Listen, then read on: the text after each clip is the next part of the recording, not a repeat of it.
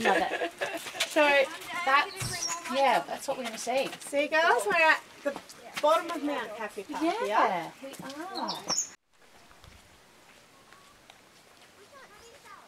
would probably look at people's